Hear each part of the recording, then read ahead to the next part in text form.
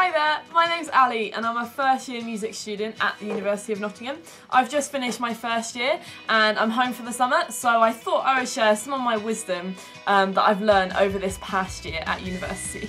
So today I wanted to share with you uh, how I prepared for university and some things that I would do differently if I were to do it again.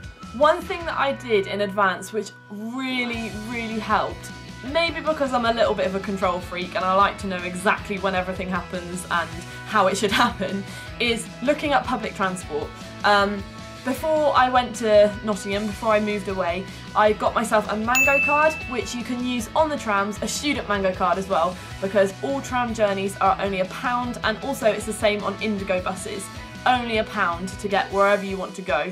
Um, this is really, really useful because it means if you're a little bit lost and you don't know what you're doing, you kind of got that security If I've got this, I know I can get home with this even if I don't have money on me. Something I found as well um, after results day when everyone knew what university they were going to is a lot of group chats started appearing. Um, there was one for my course for music which was really really good because music is quite a small course so that was bearable um, but there were some group chats made on WhatsApp um, for Broadgate Park and I think this is really cool. I think it's really cool that we can do that nowadays.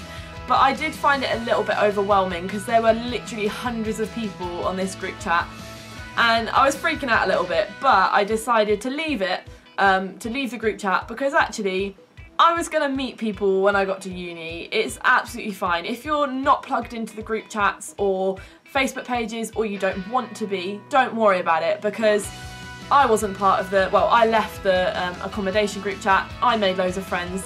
You're not going to miss out if you're not in that Facebook group chat just for a little bit of time, so don't panic. In terms of um, actually moving and taking all of your stuff to university, I would definitely say don't take as much as you think you need, especially when it comes to clothes and sort of bits and bobs for your room. I took, I didn't take loads of clothes, but for instance, I took some summer clothes that I wasn't going to need for a while, um, and yeah, just lots of extra things I ended up bringing back home. Um, moving in can be a little bit stressful, especially if you've got a small car like I did, um, but it's okay if you're just sensible about it. Just think what you really, really need.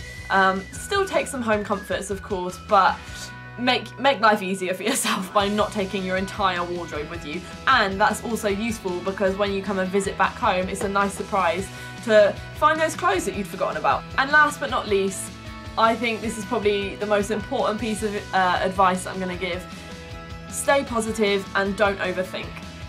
I am one of the worst people for overthinking and if you can try and not worry and overthink everything will be so much better you just need to relax and chill out because university is not as scary as you think it is. And even when it is scary, you will survive. like, it's not a terrifying place.